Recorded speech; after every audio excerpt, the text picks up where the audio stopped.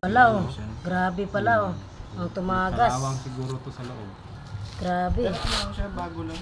Yung tumaga. Hindi Mm. hindi pa ganun katagal. Hindi mo maintindihan, tubig ba to o putik? Tubig, naghalo na. Yan. Yun.